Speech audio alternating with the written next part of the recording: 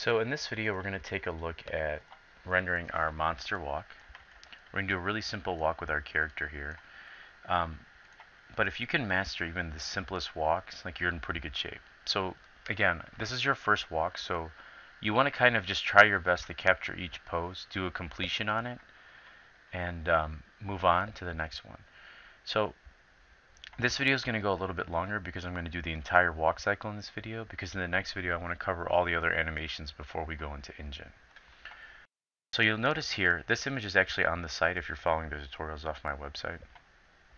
You'll see here it's 1 in 25 is this. 4, he's in a down position. Frames 7 and 19, he's up on his foot. And then here, this is um, this is actually 9 and 16, and then here's 13. So let's try to put together what these numbers mean in Maya with the actual poses. So let's look at frame 1 and 25. So the first thing we're going to do with our character is we're going to show, we're going to turn off joints and we're going to turn off camera. We don't need to see that, okay? And I'm also going to turn off locators, which is located towards the bottom, I believe. Locators and handles. Okay, so on frame 1, really all I want you to do is have one foot back here and one foot over here. Now I'm going to select all of it and I'm going to hit S to set a key and I'm going to click, I'm going to change this to 25 frames and you know just to kind of speed up animation to be safe I'm just going to go to default quality mode. So here's 25 and on frame 25 I'm just going to set a key. Okay. Now the way we want this is we want to just look at it where the back that the, notice that this side his right leg is forward and then his left arm is forward. So we're trying to capture that initial pose. So I'm going to move this arm forward. Okay let's move this elbow in. I'm just going to push it back so it goes in. That's good. I'm going to move this arm up. To move it back and I'm going to move this arm up.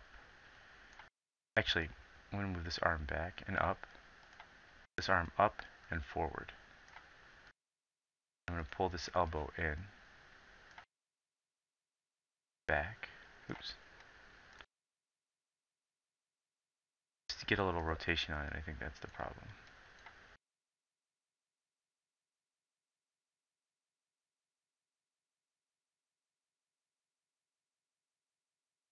Alright, something like this. Alright, and I might just kind of, I just want to check it. I'm getting a little bit of weird stretching here.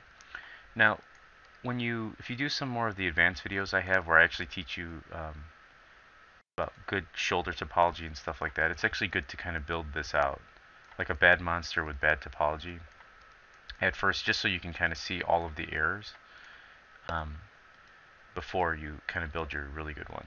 Okay, so um, so that stretching is sort of going to happen for now um, until, again, we cover better topology. So here's frame 1.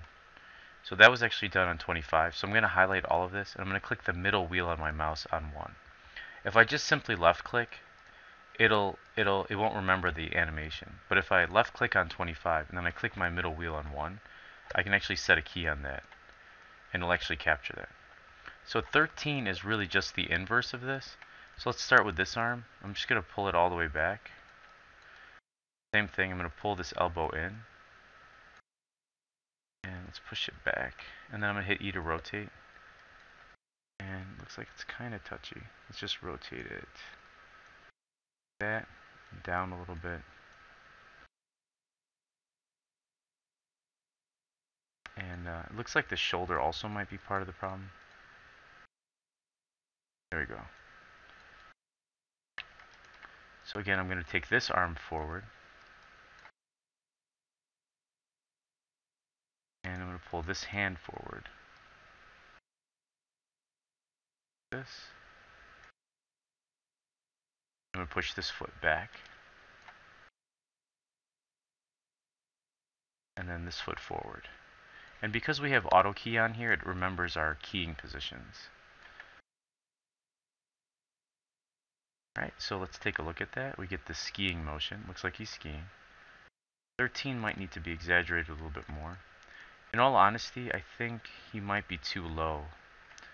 what I'm going to do here on 1 is I'm going to pull his hips up a little bit, click on 25, set a key. Again, on middle whilst clicking. 13, I'm going to pull him up as well. I'm going to select both of his hands as well as I pull that up. Okay, I'm going to set a key. Well, we might not even have to because we have auto key on. Frame 4 is really him going up on his toe here. So let's go to frame 4, pull his foot up, grab this blue circle, just pull it down and then back.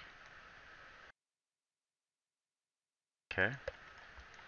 Then we're going to go to 16. Now, 4 is this left leg, 16 is his alternate leg. So I'm going to do the same thing here. Pull this down and back. So we get this motion. We also want his hips to go a little bit lower on 4. Same thing on 16. So we get a decrease. 7 is his for his front leg becomes the supporting leg. So on 7, I'm going to select both of his hands and the center hip. I'm going to pull him up. This is what frame 7 looks like here. And then I'm going to grab this foot, pull it back a little bit, and up. So we get this motion. And then he plants his foot.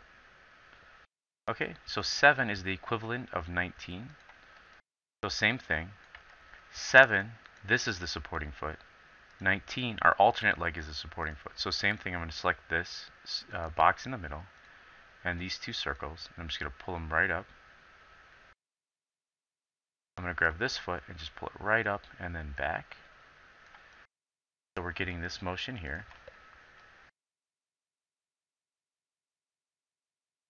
Alright, now let's do a little bit of cleanup. On that front foot, I just want to give him a, little bit of a heel here. Plant his foot. And I'm going to middle mouse click on 25 and set a key on that. So that we get a little bit more of a step. Same thing on 13. I'm just going to rotate his foot. Pull it down. So we get a little bit of that. So there's our, our walk. Now you would probably want to give him more of a lumbering monster walk but for now that'll suffice. So go to File, Save Scene As. Now we're going to select our same monster file here, but don't write over it. We're going to put an at symbol and then walk, and then I'm going to put Save As. And hit Continue. Alright, so now we have our monster at walk. So when I press play, we've got our cool walk cycle. We're going to bring this into Unity. Let's take a look.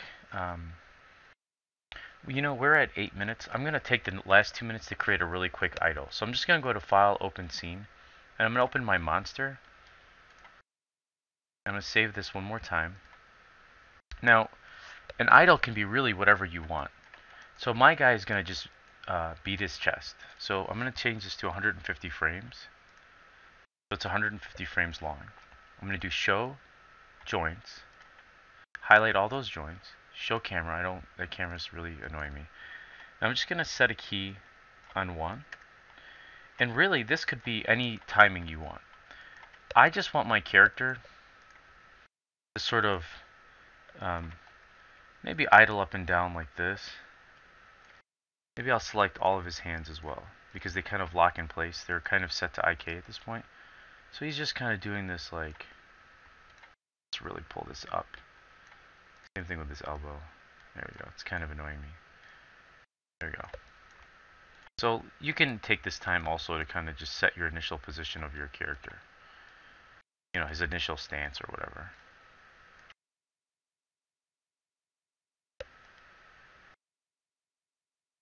Alright, here's my character. Let's see how that looks when I go to high quality mode. It doesn't look bad. And actually, let's take a second to do File, Save, Scene As. And I'm going to change this to Idle. I'm going to save it. Alright, so let's take a look at um, the problem with this guy. Actually, that was our problem from the beginning. And that's okay. Let's pull this in as well. Okay. So I'm going to select his hands. And every 10 frames, so you can actually just type in 10 here. Oh, sorry, 10 in the first one. Guess you can't. The uh, there's a way of just shooting over to, oh, I think it's it's right here. We can type 10 there. So I'm just going to set a key, or actually I'm going to hit E and just rotate them down on 10, go over to 20, kind of go have them go up, down. So he's every 10 frames he's sort of doing this like head nod thing, and it might even be too quick because he's doing three head nods a second. And then on 40, kind of does this look up, or we can have him do like a look to the right. You know what? Let's just do. He's almost got that Batman suit thing going on where you can't move your neck. So here's 40.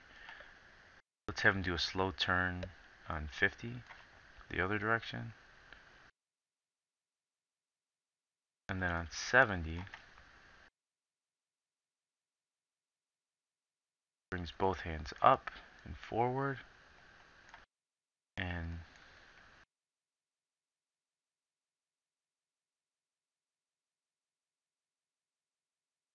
Seventy-five, he does a quick quickly, let's just place his hand on his chest.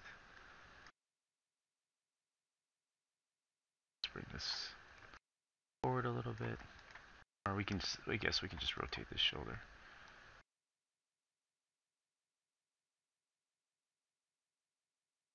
Yeah, maybe he does like that wrestling move where he points to himself.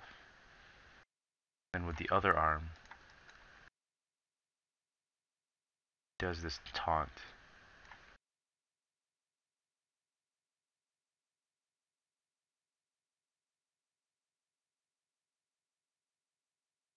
And then let's just middle mouse on 1 back to 110. Let's see how that looks.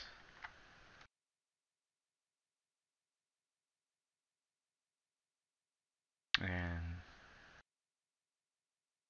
I don't know. So on 120, he kind of squats down a little bit.